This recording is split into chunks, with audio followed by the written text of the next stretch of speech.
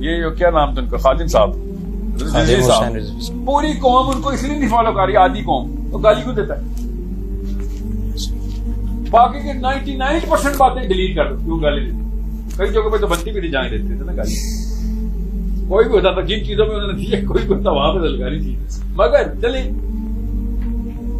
किस लेवल के ऊपर स्टैंडर्ड चल रहा है कि अल्लाह का काम मानने वाला बंदा है तो तुझसे हल्की सी भी गलती बर्दाश्त नहीं करेंगे स्टैंडर्ड नहीं कॉम्प्रोमाइज होने देंगे तेरा।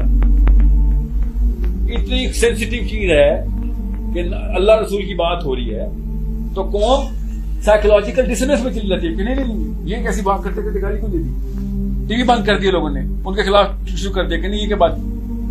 इतना कोई हाई स्टैंडर्ड अल्लाह ताला का निज़ाम खुद अपना स्टैंडर्ड कैसे मेंटेन करता है? सो जिस वक्त आपके स्टैंडर्ड्स मशहूर हो जाएँगे, लोगों ने आपके आने से पहले सफाइयाँ करनी है। ये होता है मोमिन का का लाइफस्टाइल